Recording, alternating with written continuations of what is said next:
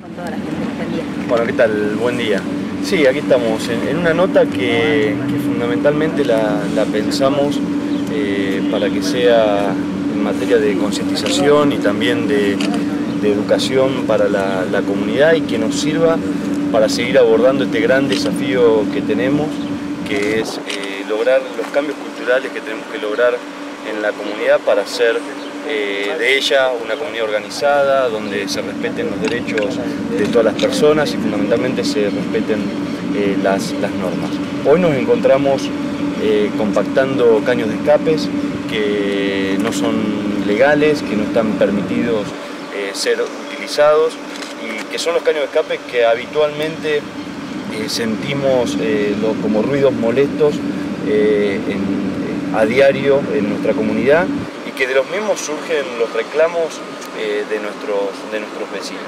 En ese sentido, desde, la, desde el juzgado de faltas, eh, que tomamos la gran decisión de, crearlo en conjunto con las fuerzas policiales y la Dirección de Protección Ciudadana, estamos haciendo un trabajo eh, fundamentalmente sustentable, sustentable en el tiempo para poder lograr revertir estas situaciones. Y acá tenemos un ejemplo de eso. Hoy son más de 150 caños de escape que se han eh, podido localizar, que se, se, les ha retirado a sus eh, propietarios, porque vuelvo a repetir, no están permitidos y hoy se están destruyendo para que no puedan ser más utilizados. La idea es que esto no suceda más. La idea es que las motos circulen con los caños de escape, originales y que están permitidos y que de hecho no generan ningún tipo de ruido molesto. Esto va en consonancia y en el mismo sentido con lo que estamos haciendo en lo que tiene que ver la utilización responsable de los residuos sólidos urbanos, que queremos seguir haciendo hincapié en este sentido. Es muy importante la pata del Estado, pero es fundamental el compromiso de los vecinos en la utilización de los residuos sólidos urbanos y también en los residuos que están vinculados a la construcción. En este sentido también estamos haciendo un trabajo muy fuerte desde el juzgado de,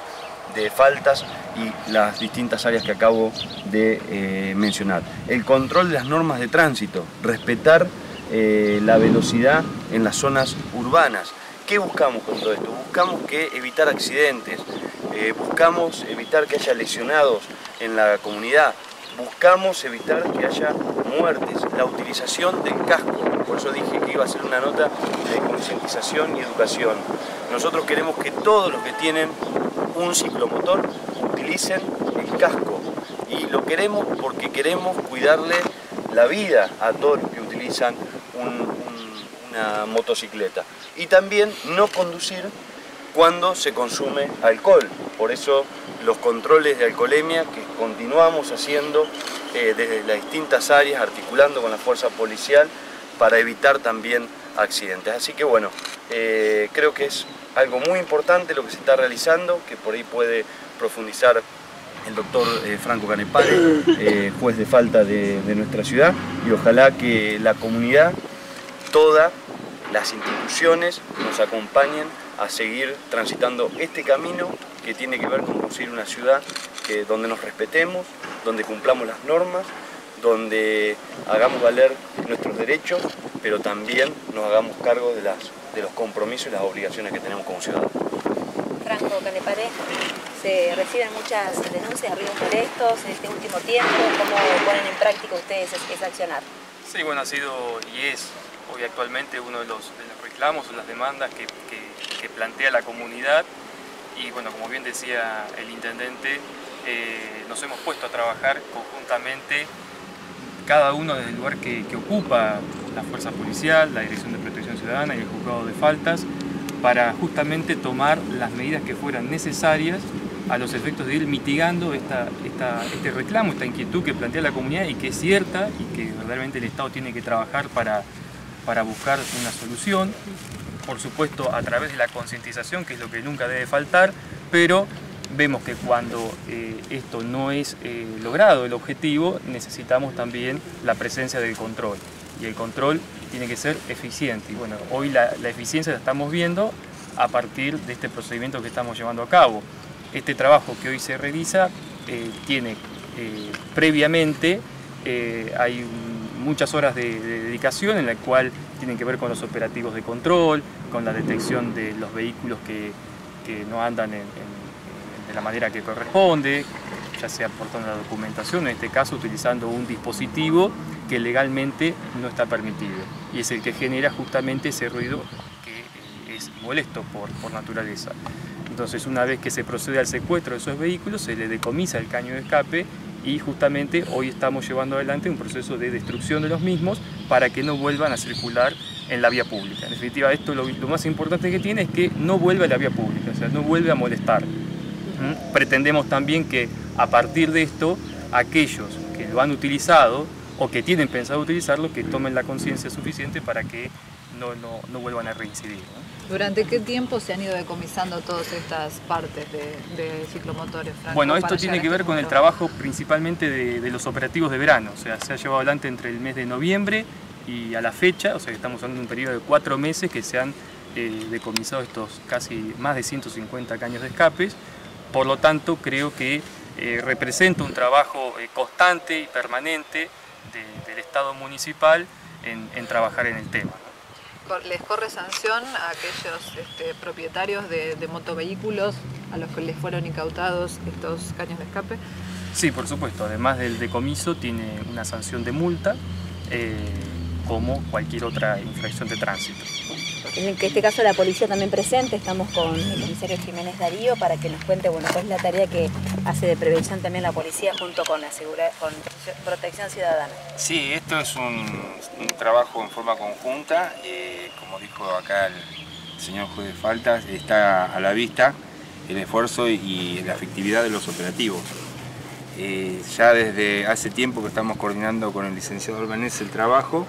y bueno, independientemente de la prevención, que es nuestra función como seguridad, también tenemos eh, presente el, problema que tienen todas las ciudades vecinas, que es el ruido molesto por las motos, que bueno, de a poco fuimos este, eh, solucionándolo y a la vista está con esta compactación. Perfecto, no sé si quiere agregar algo más el intendente o Juan Albanese también que está con nosotros acá, que son básicamente los, primeros, ¿no? Que, los efectores que bueno, detectan y luego hacen la,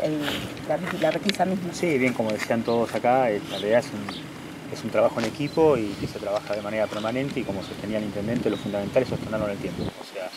eh, en, este, en, esta oportunidad el tema de los escapes, que es una de las reclamos más grandes de los vecinos desde, hace tiempo, realmente eh, el trabajo constante y sostenido y en equipo ha hecho que este sea el resultado. O también como es el caso de la alcoholemia, que es otra de nuestras preocupaciones más grandes, los cuales se hacen desde el primer fin de semana que comenzamos a trabajar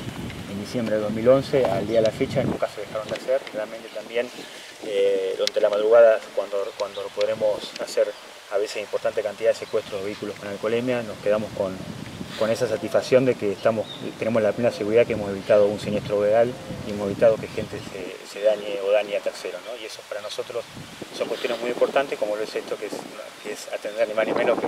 a los reclamos de los vecinos que sabíamos que, estaban vigentes y esto realmente es el resultado de un muy buen trabajo en equipo. Vemos gente que igual es reticente sobre el casco. sí, la gente, hay cuestiones que son socioculturales y culturales, que lograr la concientización lleva más tiempo. Nosotros lo hablamos constantemente con especialistas en la materia y con, otras localidades vecinas y hay ciudades que han obtenido buenos resultados, pero ese tipo de resultados lo han obtenido con el largo del tiempo, algunos más de una década, inclusive a veces otras ciudades cercanas que han hasta 20 años trabajado de manera constante.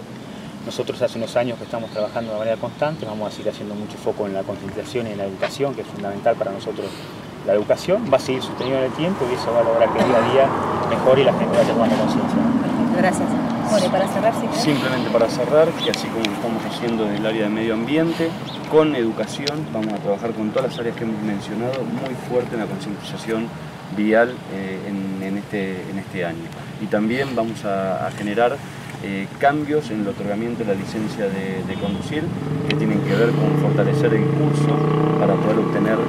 la primera licencia de, de conducir, que es un hecho muy importante en la vida de una persona, en los adolescentes fundamentalmente, como así también en las prácticas que habitualmente se han hecho a lo largo de nuestra historia, aquí mismo en el Parque Las Apoyaradas, con los famosos tarros de 200 litros, cuando estamos modernizando todo ese proceso para otorgamiento de la licencia de conducir. Muy bien, gracias. Y también tenemos que saber que